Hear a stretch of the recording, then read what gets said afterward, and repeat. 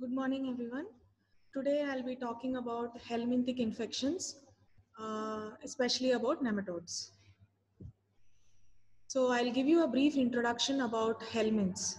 The word helminth is derived from Greek word helminths, that is parasitic worm.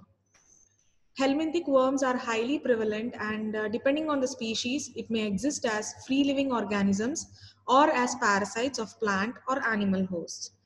Helminthic parasites of humans belong to two phyla, that is Nemathelminthes and Platyhelminthes. Nemathelminthes includes nematodes, that is roundworms. Platyhelminthes includes cestodes, that is tapeworms and trematodes. So today I'll be talking about nematodes. Giving a brief introduction about nematodes. Nematodes are said to be the most worm-like of all helminths. This is because they generally resemble the common earthworm in appearance, which is considered to be the prototype of a worm. Nematodes are elongated, cylindrical, unsegmented worms with tapering ends. The name nematode means thread-like, that is nema means thread. Unlike trematodes and cestodes, all of which are parasitic, most nematodes are free-living forms found in soil and water. The largest number of helminthic parasites of human belongs to this class of nematodes. There is an estimated 5 lakh species of nematodes. What are the general characteristics? They are cylindrical or filariform in shape, bilaterally symmetrical with a secondary triradiate symmetry at the anterior end. The adults vary greatly in size from about a millimeter, which is found in Strongyloids stercoralis, to a meter, that is Dracunculus medinensis in length. So you have you must have read in detail about all this in your microbiology parasitology. Male is generally smaller than female and its posterior end is curved or coiled ventrally. So I'm just brushing up your knowledge. Their body is covered with a tough outer cuticle which may be smooth, striated, bossed or spiny. Four types. The middle layer is hypodermis and the inner layer is a somatic muscular layer. They move by the sinus flexion like this, sinus flexion of the body. The body cavity is a pseudocoel in which all the viscera are suspended. The digestive system of this nematodes is complete, consisting of an anteriorly placed mouth leading to the esophagus, which characteristically varies in shape and structure in different groups. The intestine is lined with a single layer of columnar cells, which leads to the rectum, opening through the anus. In the male, the rectum and the ejaculatory duct open into the cloaca. Nematodes have simple excretory and nervous systems. The nematodes are dioecious, that is, the sexes are separate. Female nematodes may produce eggs, that is oviparous, or larvae, that is viviparous. Some lay eggs containing larvae, which immediately hatch out, ovoviviparous. This is a general brief description of a life cycle of a nematode. All it applies to all the worms in common. The life cycle of nematodes consists typically of four larval stages and the adult form. The cuticle is shed while passing from one stage to the other. Man is the optimum host for all the nematodes. Nematodes localize in the intestinal tract and their eggs pass uh, out with the feces of the host. They undergo few developmental changes before they enter the new host. What could be the different types of modes of infection? By ingestion of eggs, it is found in Ascaris, Enterobius, and Trichuris. You're understanding this, right? So, in these worms, by ingestion of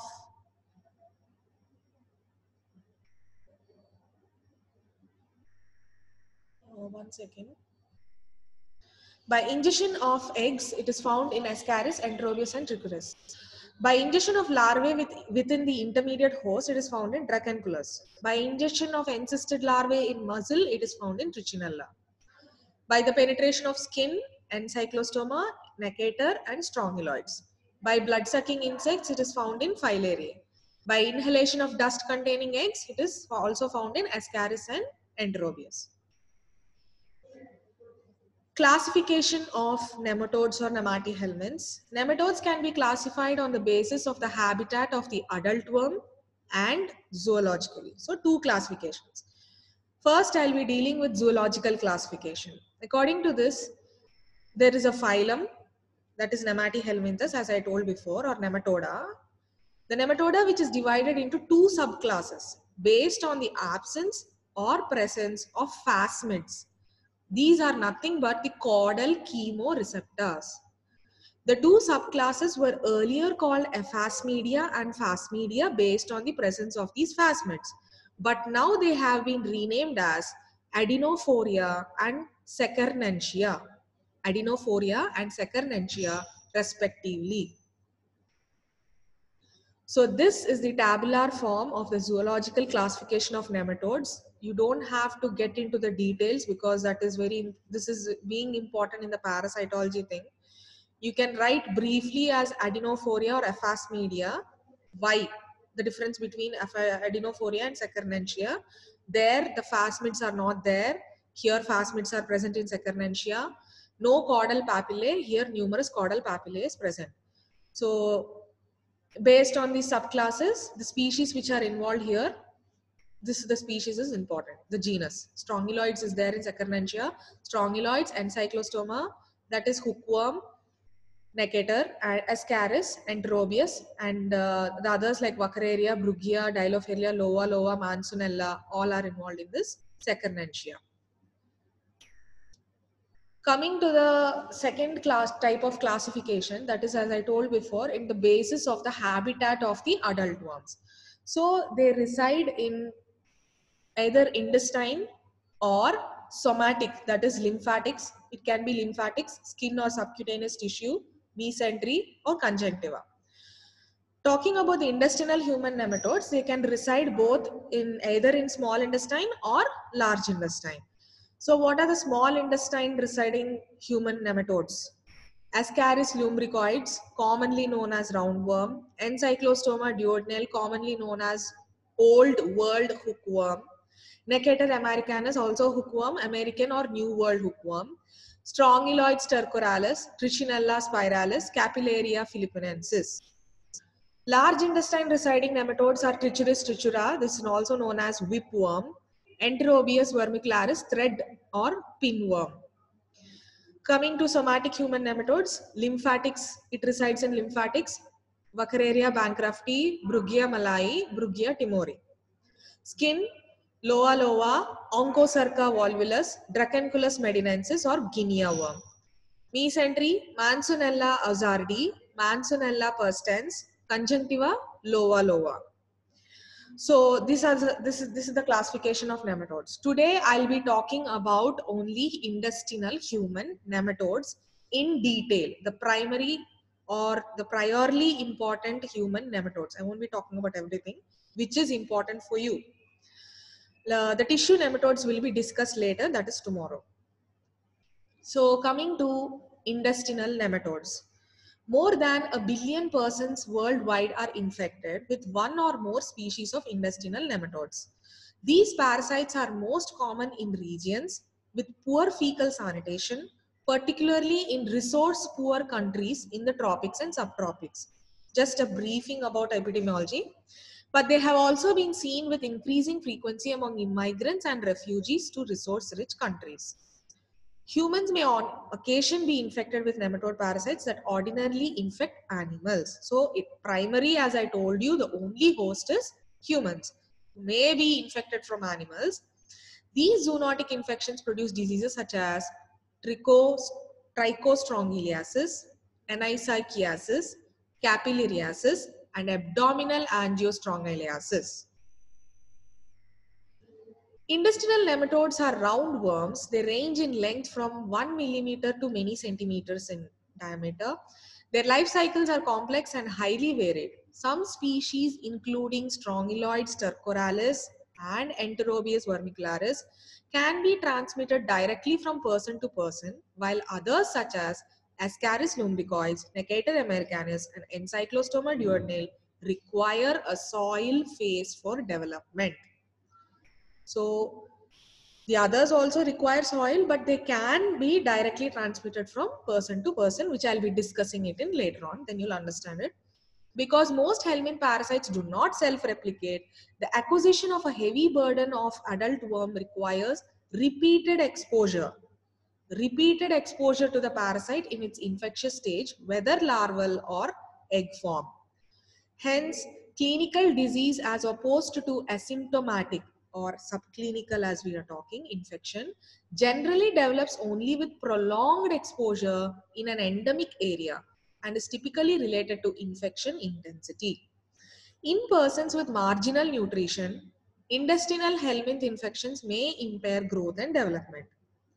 Eosinophilia and elevated serum IgE level, immunoglobulin E levels are features of many helminth infections and when unexplained in other cases should always prompt a search for intestinal helminths. So the first worm I'll be talking to you about or disease I'll be talking to you about is Ascariasis. This is a very important one. It may be given as 4 marks or you can be given as nematodes as essay. Ascaris lumbricoides is the largest intestinal nematode parasite of humans reaching up to 40 centimeter in length. This is also commonly known as roundworm as I told before in the classification. Habitat of this worm, adult worms live in the small intestine, 85% in jejunum and 15% in ileum. Most infected individuals have low worm burdens and are asymptomatic. Clinical disease arises from larval migration in the lungs or effects of the adult worms in the intestines. So you have the patient presents with clinical manifestations while there is a larval in the lungs or in the intestine. Coming to the life cycle of Ascaris, I have also given you the diagrammatic representation. Either you can draw this diagram and explain it like this in your exam and also along with the points in theoretical form or you can only give the diagrammatic representation more than enough. But you have to clearly explain via the diagram.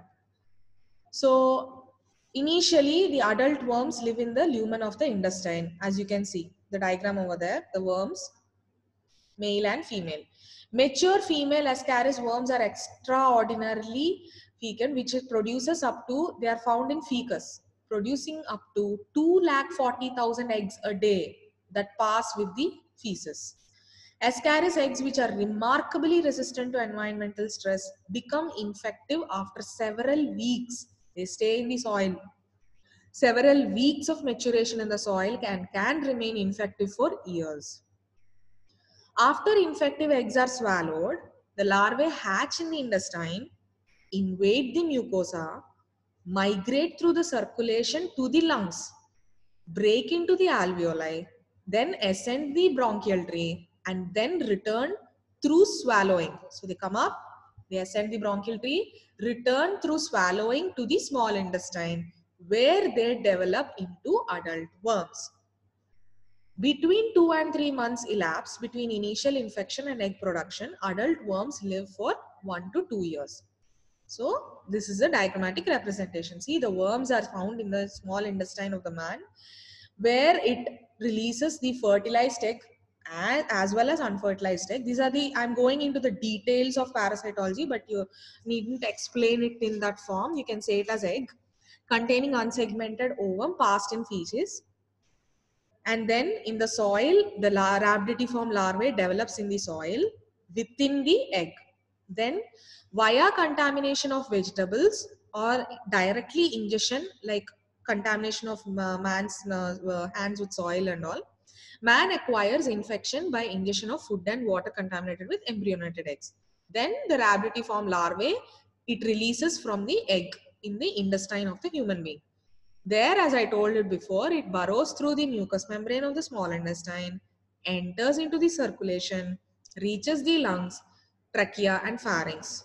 From here, they ascend the alveoli and then they are swallowed and reach the small intestine again. Here they develop into adult worms and the cycle repeats. So this is a vicious cycle. Coming to the clinical manifestations. During the lung phase, as I have told you before, the manifestations uh, are shown during the lung phase or the intestinal phase.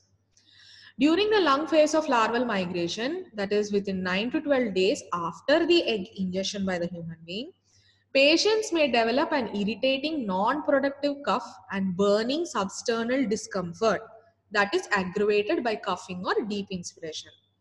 Dyspnea and blood tinged sputum are less common. They may be found. Fever can occur. Eosinophilia develops during this symptomatic phase and subsides slowly over weeks. So, chest x-rays may reveal evidence of eosinophilic pneumonitis, which is nothing but Loeffler syndrome. This is important. Eosinophilic pneumonitis or Loeffler syndrome with rounded infiltrates ranging from a few millimeters to several centimeters in size. Ascaris pneumonia is characterized by low-grade fever, dry cough, asthmatic wheezing, urticaria, eosinophilia, and mottled lung infiltration in the chest radiograph. The sputum is often blood tinged and may contain Charcot-Leyden crystals. The larvae may occasionally be found in the sputum, but are also seen more often in gastric washings. This condition is called Loeffler syndrome. So, what is Loeffler syndrome? The larvae might be found in the sputum or in gastric washings. Okay. Ascariasis may contribute to protein energy malnutrition and vitamin A deficiency. So in established infections, adult worms in the small intestine usually does not cause any symptoms. In heavy infections, particularly in children, a large bolus of entangled worms can cause pain and small bowel obstruction, sometimes complicated by perforation, intussusception or volvulus. This is a term ectopic ascariasis or wanderlust. The worms are restless wanderers, apparently showing great inquisitiveness in what they tend to probe and insinuate themselves into any aperture they find on the way. So they can enter into any any aperture present in human being. That's what that's the this term indicates ectopic ascariasis. It's not much important, but I have told you for your extra knowledge. A large worm can enter and occlude the biliary tree, causing biliary colic, cholecystitis, cholangitis, pancreatitis, or rarely intrahepatic abscesses. Migration of an adult worm up the esophagus can provoke coughing and oral expulsion of the worm. This is commonly seen in many cases. In highly endemic areas, intestinal and biliary ascariasis can rival acute appendicitis and gallstones as causes of surgical acute abdomen. This is very secondary thing. Coming to the diagnosis of the worm. How do you diagnose?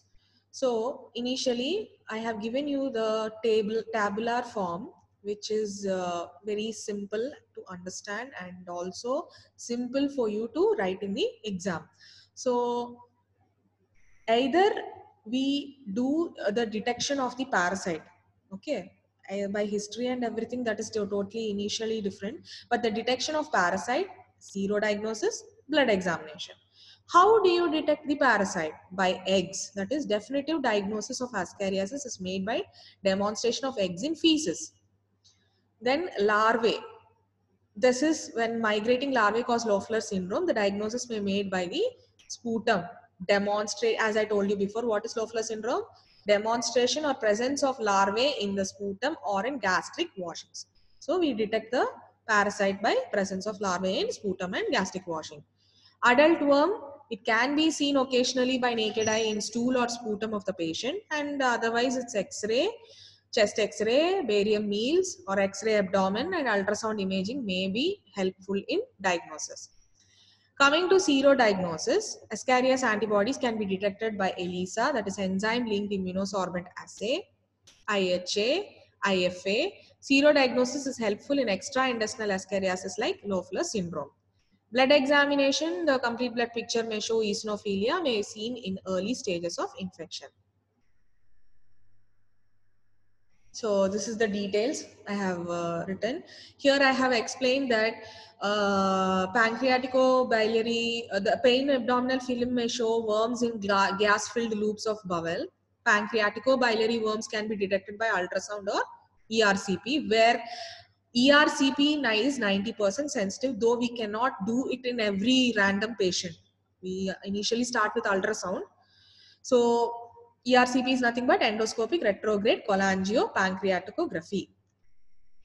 And the larvae, as I have told you in the table, by X-ray and serological test and complete blood count. Okay. You can write it as in a tabular form. It will be more effective in the exam. Treatment ascariasis should always we'll be thinking uh, by depending on the presentation of clinical manifestations and complications is very complicated. It's just a simply one drug given worm deworming. So ascariasis should always be treated to prevent potentially serious complications. Albendazole 400 milligrams once.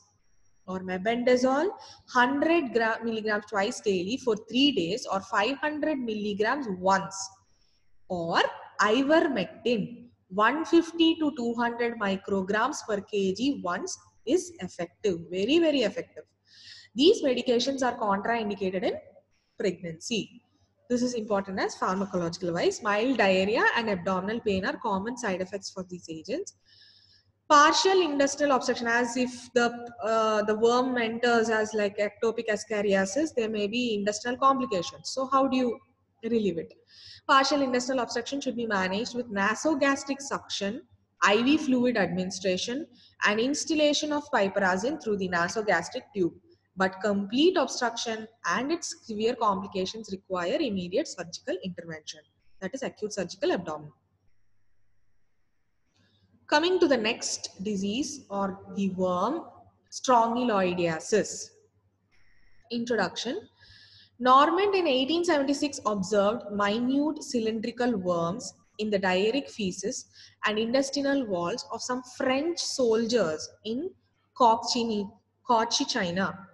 These were named as Strongyloid stercoralis. Strongylis means round, idos means resembling, stercoralis means fecal. This is how the name was derived. Strongyloid stercoralis is distinguished by its ability that is unique among helminths to replicate in the human host. This capacity permits ongoing cycles of auto-infection as infective larvae are internally produced. Infection with Strongylus stercoralis can thus persist for decades without further exposure of the host to exogenous infective larvae.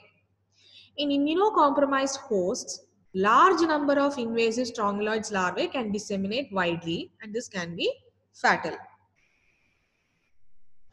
Coming to the life cycle, here also I have given you the diagrammatic representation. Uh, I'll go into the details. In addition to a parasitic cycle, strongyloids can undergo, as I told you, free living cycle, life cycle of development in the soil. This adaptability facilitates the parasite survival even in the absence of the mammalian hosts. Rhabditiform larvae fast in fishes can transform into infectious filariform larvae either directly or after a free living phase of development. Humans acquire this uh, Strongylus stercoralis when filariform larvae in fecally contaminated soil penetrates the skin or mucous membranes.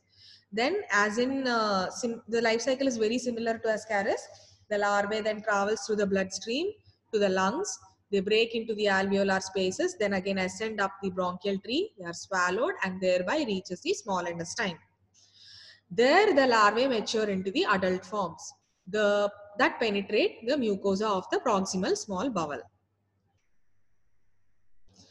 So this is extra information. Uh, the minute that is 2 millimeter long parasitic adult female worms reproduced by parthenogenesis.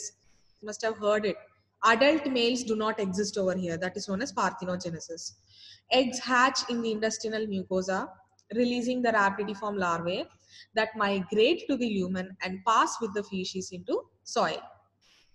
Alternatively, the rhabditiform larvae in the bowel can develop directly into filariform which penetrates the colonic wall or perianal skin and enter the circulation to repeat the migration that establishes the ongoing internal reinfection. So the cycle as you can see, the adult female is embedded in the mucosa of small intestine.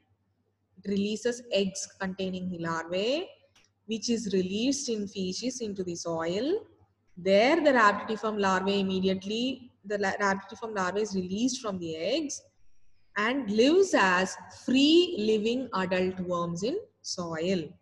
Ascariasis, it remains inside the egg. Now, there, the rhabditiform larvae in the soil develops into the infective stage, that is filariform larvae. This penetrates the skin of the definitive host, that is human. Okay. So this is the direct cycle. Rhabditiform larvae directly metamorphoses to infective filariform larvae in soil. Okay. Now the human, as I told you, the larvae enters the circulation via heart, lungs, respiratory tree and esophagus then reaches the small intestine. In the small intestine, the larvae matures into the adult form and this is the vicious cycle.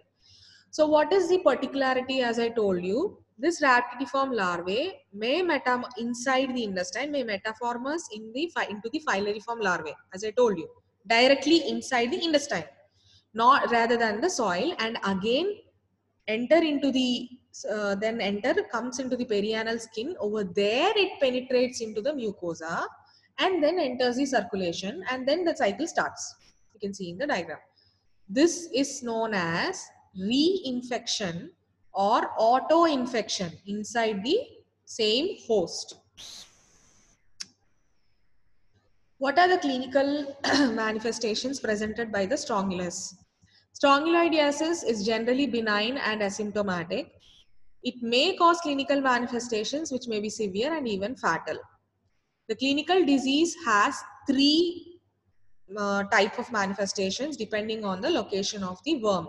Cutaneous, pulmonary and intestinal manifestations.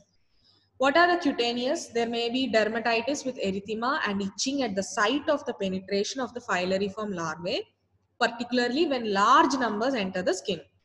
In those sensitized by the prior infection, those who have accustomed with the prior infection, there may be an allergic, simple allergic response.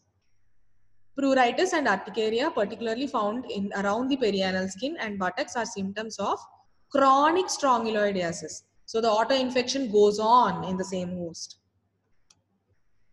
The term larvae currens, meaning racing larvae, has been applied to the rapidly progressing linear or serpiginous urticarial tracts. Rapidly progressing linear or serpiginous urticarial tracts caused by migrating filariform larvae. These often follow auto-infection and start perianally. So the term larvae currens. Pulmonary manifestations. When the larvae escape from the pulmonary capillaries into the alveoli, small hemorrhages may occur in the alveoli and bronchioles. Bronchopneumonia may be present. This progresses into chronic bronchitis and asthmatic symptoms in some patients. Larvae of strongyloids may be found in the sputum of these patients. What are the intestinal manifestations? So symptoms may be simply peptic ulcer or of malabsorption syndrome. Mucus diarrhea is often present. So the mu in heavy infection of this worm, the mucosa of the host may be honeycombed, honeycombed with the worm. And there may be extensive sloughing and causing resulting in dysentery stools. Other manifestations intestinally are protein losing enteropathy and paralytic ileus. Hyperinfection. This is a term used over here. In debilitated individuals that is immunocompromised, uh, particularly in those with cellular immune defects, extensive internal reinfection takes place, leading to an enormous number of adult worms in the intestines and lungs and larvae in various tissues and organs. This is known as hyperinfection. So what are the conditions which predispose to this condition? As I told you, severe malnutrition, lepromatous leprosy, lymphoreticular malignancy, acquired immunodeficiency syndrome, immunosuppressive drugs, and other situations like where cell-mediated immunity is defective. During hyperinfection, the filariform larvae may enter into the arterial circulation and lodge in various organs like heart, lungs, brain, kidney, pancreas, liver, and lymph nodes. So the manifestation depends on the lodgement of the worm or the sites affected. Brain abscess, meningitis, and peritonitis are major fatal complications. It has been reported that circulating strongyloidiasis larvae may carry intestinal bacteria causing septicemia. This is generalized. How do you diagnose this worm? This also I have given you a simple tabular form by microscopy. Number two is stool culture, serology, radiological imaging and blood examination. So microscopy by direct wet mount of stool demonstrates rhabditiform larvae. This is the definitive diagnosis by microscopic direct wet mount of stool. Then the other one is stool concentration methods by formal ether, formal ethyl ether concentration, sorry, Baermann's funnel gauze. And then demonstration. Third one is demonstration of larvae in sputum or duodenal aspirates or jejunal biopsies. So stool culture, this is done when larvae are scanty in stools. Methods are agar, agar plate culture, charcoal culture method. If you don't uh, remember, you can simply write microscopically stool culture serology. Serology is done by complement fixation, indirect hemagglutination and ELISA. Radiological imaging and done by x-rays and ultrasound, blood examination, peripheral eosinophilia and raised serum Ig levels. So this is the details I have given you theoretically. Treatment even in the asymptomatic state, strong strongyloidiasis must be treated. As you have seen, the clinical manifestations are a number because of the potentiality for subsequent dissemination and the main important feature of the or uniquity of this hyperinfection. So the treatment, ivermectin, 200 micrograms per kg daily for two days. It is consistently more effective than albendazole and the dosage for albendazole is 400 milligrams daily for three days. For a disseminated strongyloidosis, treatment with ivermectin should be extended for at least 5 to 7 days or until the parasites have been eradicated. In immunocompromised hosts, the course of ivermectin should be repeated every two weeks after initial treatment. Coming to hookworm the third important uh, nematode. The two species of hookworm are, as I mentioned before in the classification, Ancylostoma duodenale and Necator americanus. These are responsible for the most human hookworm infection. There are others like Ancylostoma ceylanicum, uh, which is recognized as major hookworm pathogen in other parts of Asia. Most infected individuals are asymptomatic. Hookworm disease develops from a combination of factors. A heavy worm burden, a prolonged duration of infection, an inadequate iron, take, iron intake, and results in iron deficiency anemia and on occasion hypoproteinemia. Coming to the life cycle, you can see that's similar. The adult hookworms, these are measured about one centimeter long. They use the buccal teeth as in ancylostoma. Buccal teeth is found in ancylostoma and cutting plates is found in Necator. So the name is derived. To attach to the small bowel mucosa and they suck blood. 0.2 ml per day of blood is sucked per, in, per adult via ancylostoma. They suck blood as well as the interstitial fluid. The adult hookworms produce thousands of eggs daily. The eggs are deposited with feces in soil where similar thing, the rhabditiform larvae hatch and develop over a one week period into the infectious form that is filariform larvae. This infective larvae penetrates the skin and reaches the lung via the circulation or the bloodstream. There they invade the alveoli or ascend the alveoli and then ascend the airways.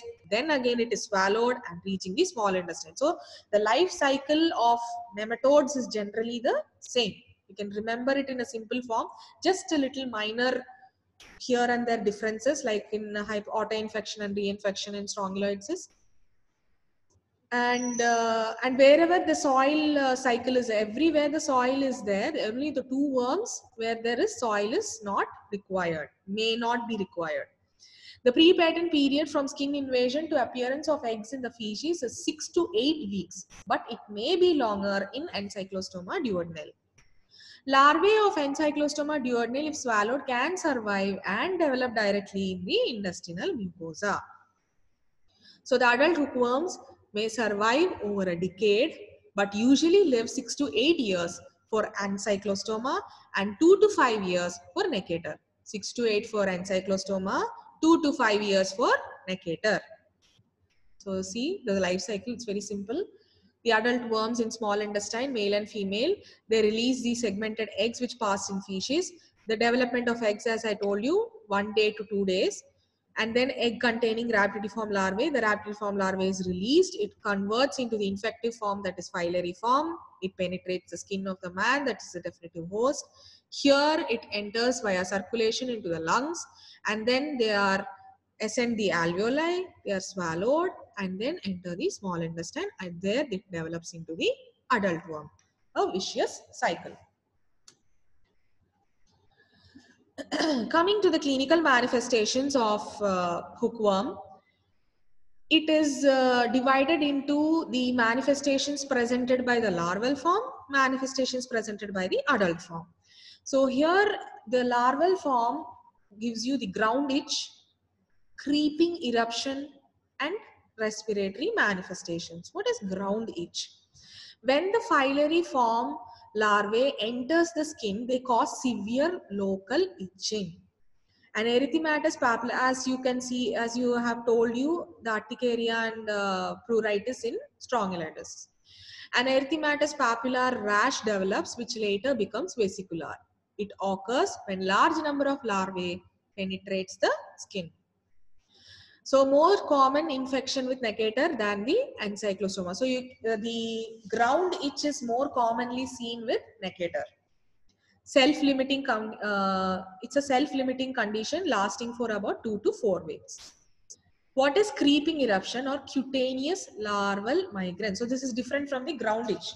Ground itch occurs when the larvae enters the skin. Creeping eruption is when the larvae resides in the skin or migrating. It is a condition in which the filariform larvae wander about the skin and produce a reddish itchy papule along the path traversed by them. This is more common in infections with animal hookworms than the human infect hookworms. It is also seen in human hookworms. Respiratory manifestations occur when larvae break out of the pulmonary capillaries and enter the alveoli. Manifests as bronchitis and bronchopneumonia. Rarely, Loeffler syndrome can also be seen here. Adult worm is responsible for hookworm disease. Adult worm sucks blood, leading for microcytic hypochromic anemia. They develop epigastric pain, dyspepsia, vomiting, diarrhea. Stool becomes reddish or black in color. Symptoms and signs of anemia are exertional dyspnea. You know, this is very common. Exertional dyspnea, palpation, you can write it in detail or you can just say symptoms and signs of anemia. Severe hookworm anemia is also leads to thus cardiac failure. This is an extra point. What could be the causes of anemia and hookworm infection? I have already described you. You can derive it.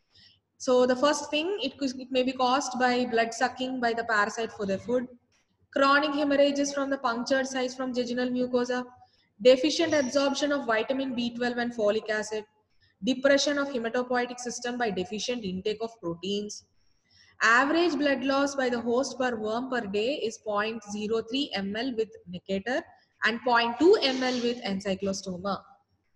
With iron deficiency anemia, hypochromic microcytic anemia is caused with iron deficiency and the deficiency of both iron and vitamin B12 or folic acid. Dimorphic anemia is caused. How do you diagnose the hookworm? Demonstration of characteristic oval segmented hookworm eggs in feces by direct wet microscopy.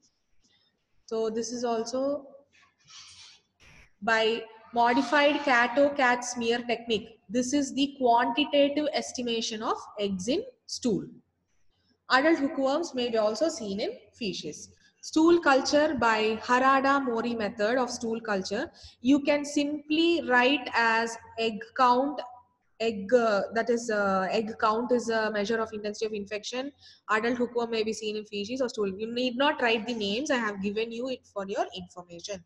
If you write well and good. Extra marks. Blood examination reveals microcytic hypochromic anemia and eosinophilia.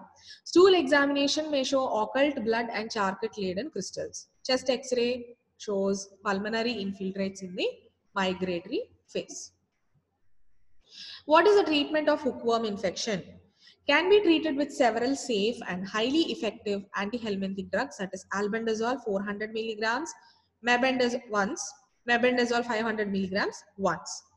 So, and the others like mild iron deficiency anemia can be treated with oral iron and if it is anemia more than less than 4 uh, uh, gram percentage hemoglobin you have to go for blood transfusion severe hookworm disease with protein loss and malabsorption requires nutritional support and oral iron replacement along with deworming. Coming to the fourth worm, fourth important nematode, trichuriasis. Most infections with Trichuris trichiura are asymptomatic, but heavy infections may cause gastrointestinal symptoms. So you might be wondering what is this trichuris? It is nothing but the whipworm it is also commonly known as whipworm. It is distributed in the tropics and subtropics and is most common among poor children from resource poor regions of the world. Uh, how the name Trichuris is derived? It means a hair-like tail. Greek trichos means hair, aura means tail this name is not quite correct because its anterior end of the worm that is hair it's hair like is and not the tail the anterior end is the hair like thing so the name whipworm is more apt as the thick posterior part resembles the stalk and the thin anterior end resembles like that of the lash of a whip life cycle Adult trichuris worms resides in the colon and cecum and anterior portions threaded into the superficial mucosa. Thousands, so the half worm, it is half inside the mucosa, half outside into the uh, lumen of the intestine. Thousands of eggs laid daily by adult female worms pass with the feces and mature in the soil. After ingestion, infective eggs hatch in the duodenum, releases the larvae, which matures before migrating to the large bowel. The entire cycle takes three months and adult worms may live for several years. So this is the diagrammatic representation, the life cycle. The adult worms in the large intestine where eggs passed in the feces and uh, they are developed. It takes three to four weeks. Then the embryonated egg with infective rhabditiform larvae when ingested by humans via, via contaminated food and water there in the intestine, it develops. The larvae is liberated from the embryonated egg in the small intestine. It passes down to the cecum and there it develops into the adult worms. What are the clinical manifestations? Tissue reactions to trichuris are mild. As you can see in the life cycle, I haven't told you about the migrating uh, enters into the it enters into directly into the intestine and there is no cycle where it migrates onto the skin. So the tissue reactions is very mild. Most infected individuals have no symptoms or eosinophilia. Heavy infections may result in anemia, abdominal pain, anorexia, bloody or mucoid diarrhea resembling inflammatory bowel disease. Rectal prolapse can result. So the, in, the worm subs, sub, uh, descends into the cecum so you can more uh, heavy symptoms are seen in the rectal part. So the rectal prolapse can result from massive infections in children who often suffer from malnourishment and other diarrheal illnesses. Moderately heavy trichuris can also contribute to the growth retardation. How do you diagnose and treat? I have it's uh, diagnosis is very less, so I have given both in uh, same slide. The characteristic 50 by 20 micrometer lemon shaped You can see it in the diagram. The lemon shape of that egg, both embryonated. Okay. Trichuris eggs are readily detected on stool examination. Adult worms, which is 3 to 5 centimeter long, they are seen on proctoscopy. As I told you, it will be seen in cecum and rectum. Mebendazole. What is the treatment? Mebendazole 500 milligrams once or albendazole 400 milligrams daily. That is for three doses. It's safe and effective. Curate rates are 70 to 90 percent. Ivermectin that is 200 micrograms per kg daily for three days doses is also safe. But it's not quite efficacious. So you prefer more mebendazole or albendazole. Coming to the last worm is enterobiasis. Last means this is one of these four are more important in nematodes. Okay. The name Enterobius vermicularis means a tiny worm living in the intestine. So the Greek word enteron means intestine, bias means life, and vermiculus means small worm. The term Oxyuris means sharp tail. This is the feature of the female worm from which the name pinworm is also derived. What are the other common names of this enterobius? Pinworm, seat worm since it's found in the seat area or thread worm, thread-like worm. Okay. Enterobius vermicularis is more common in temperate countries than in the tropics. Coming to the life cycle, also I have given you the diagram. I'll uh, read it to you theoretically detailedly and then I'll explain the diagram. Enterobius vermicularis is monoxenous. It is monoxenous, that is, passes its entire life cycle in the human host.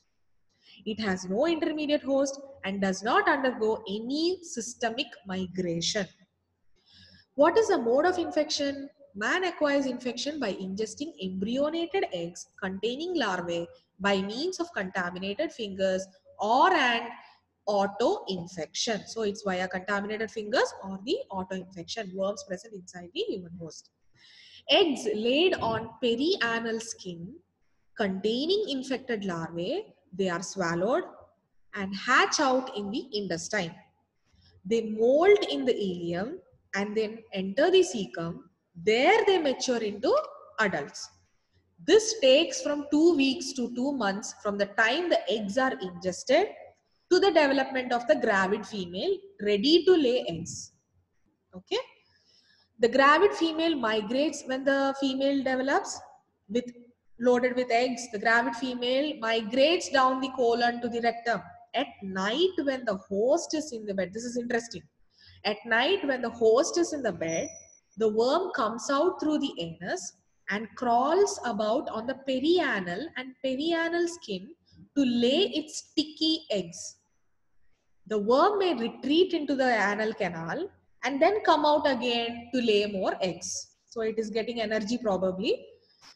Next, when all the eggs are laid, the female worm dies. So its uh, goal is finished and gets crushed by the host during scratching or it gets crushed.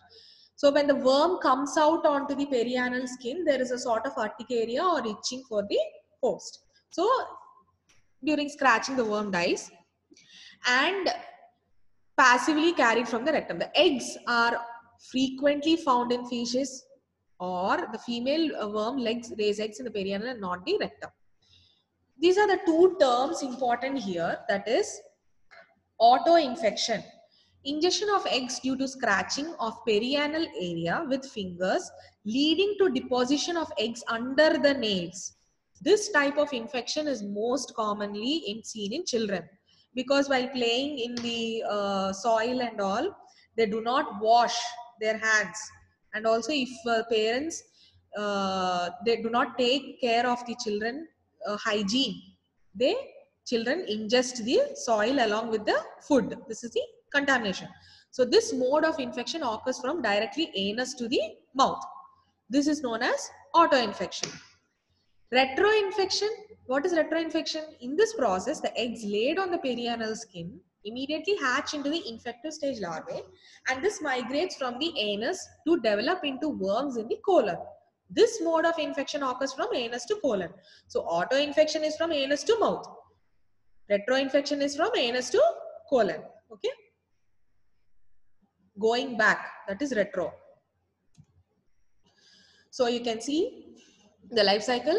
The adult worms is seen in the large intestine where uh, the female comes out uh, and on perianal skin it lays eggs, freshly laid eggs. This is released in the into the soil in the form of embryonated egg with the infective larvae. So via contaminated hands that is food, drinks, clothing and dust, the egg enters through the mouth to the uh, the human host. Okay, it enters in through the mouth. Then the eggshell is dissolved by the digestive juices and the larvae is liberated into the small intestine. Here the larvae directly migrates uh, towards the cecum where it develops. So the molting occurs in the ileum. The liberated larvae goes into the cecum where the development occurs in the in the cecum. So there it develops and then that's a vicious cycle. So what as I told you, auto-infection. In the middle I have shown you the red arrow. The eggs laid in the perianal skin if the patient or the host or the children ingest with by scratching on the perianal area auto-infection occurs. Okay. What are the clinical manifestations? Enterobiasis occurs mostly in children.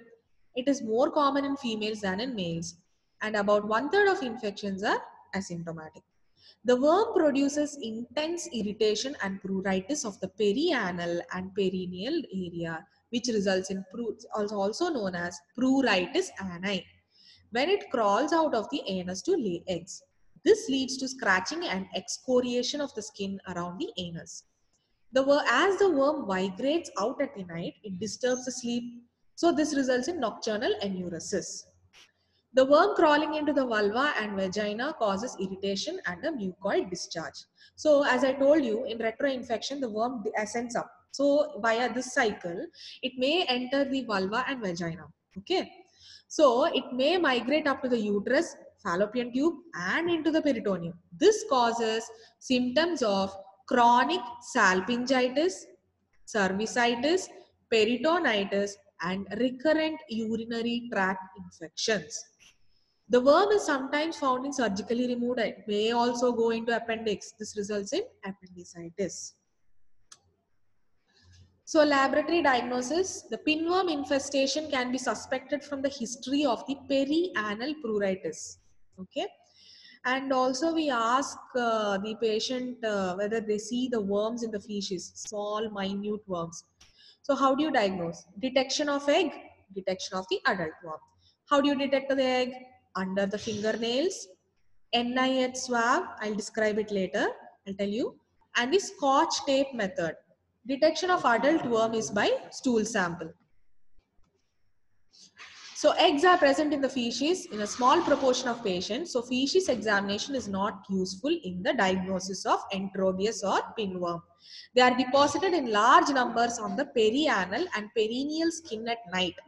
This can be demonstrated by swabs collected from the sites early morning before going to the toilet or bathing. Swabs from perianal folds are often mostly positive. The eggs may sometimes be demonstrated in the dirt collected beneath the fingernails in infected children.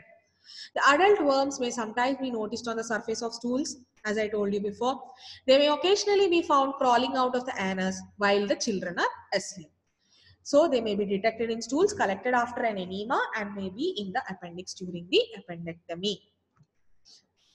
So I have mentioned here the NIH swab in the table. So what is NIH swab method?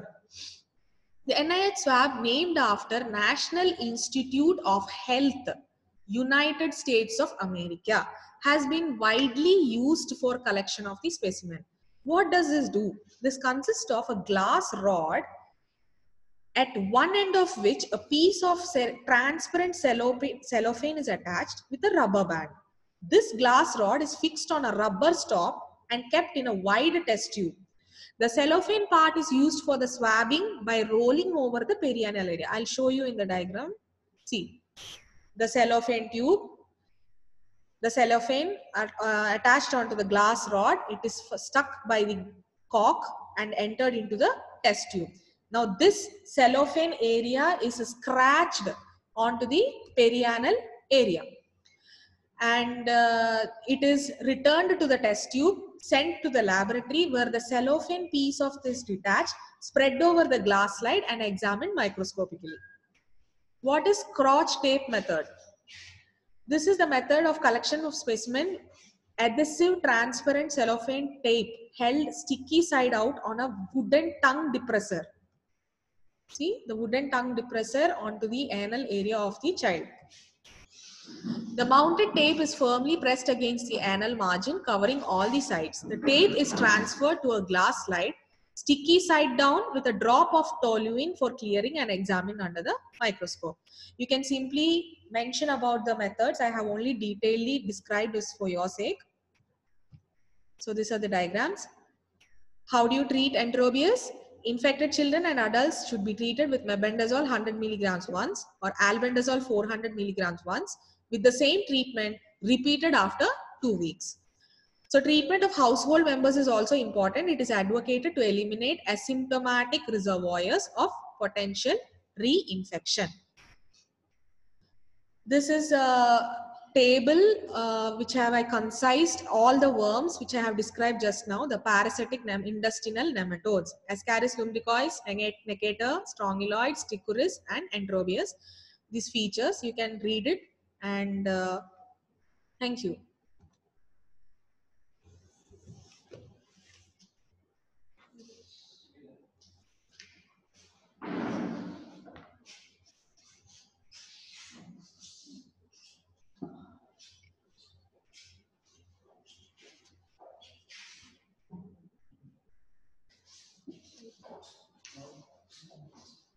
Biliyorsun ki belki ben Biliyorlar. Bu kadar.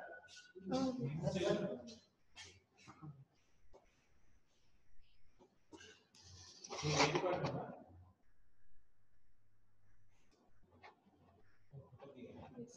Department. Department.